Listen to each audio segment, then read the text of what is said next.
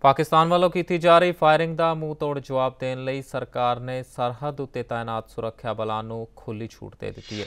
ਇਸ ਦਾ ਨਤੀਜਾ ਇਹ ਹੋਇਆ ਕਿ ਪਿਛਲੇ 10 ਦਿਨਾਂ ਵਿੱਚ ਹੀ ਪਾਕਿਸਤਾਨ ਨੂੰ ਇੰਨਾ ਨੁਕਸਾਨ ਪਹੁੰਚਿਆ ਹੈ ਜਿੰਨਾ ਕਿ ਪਿਛਲੇ ਸਾਲ ਪੂਰੇ ਅਗਸਤ ਮਹੀਨੇ ਦੌਰਾਨ ਨਹੀਂ ਪਹੁੰਚਿਆ ਸੀ।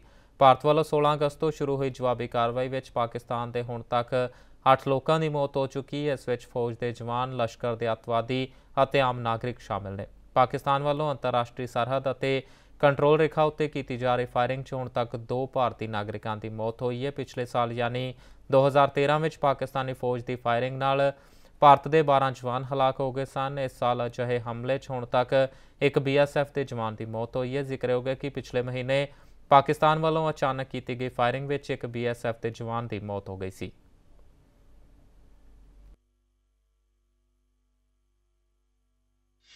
लॉन्च पैड कोई ऐसी कोई बहुत स्टैब्लिश्ड कोई ऐसी चीज़ नहीं होती है। लॉन्च पैड तो मुझे कहते हैं जहाँ कि वो जमा होते हैं और वो विलेजेस में भी जमा होते हैं स्कूल बिल्डिंग्स में भी जमा होते हैं कम्युनिटी हॉल्स में भी जमा होते हैं, आसपास के जंगलों में भी जमा होते हैं, जहाँ कि वो वैसी जगह जहाँ कि वो आराम से छिप सकें और उनकी जो डे टू डे की जो ज़रूरतें हैं वो पूरी हो सके, क्योंकि उन्हें कई दिन तक इंतज़ार करना पड़ता है और उन्हें जहाँ लॉजिस्टिकल सपोर्ट मिल सके।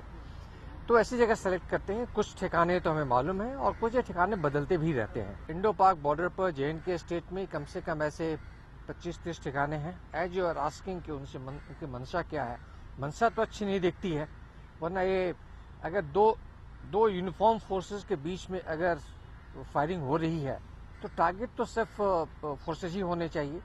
हमारी पॉलिसी है हमारा एक ethics of conflict principles of engagement कि हम फर्स्ट फायर नहीं करते हम अपनी ओर से और दूसरा कि हम सिविलियन इलाके को टारगेट नहीं करते we do not target the civilian areas and we do not initiate the fire but we as a border guarding force it's our bounden responsibility and duty to defend ourselves and to defend the civilians living in the border areas.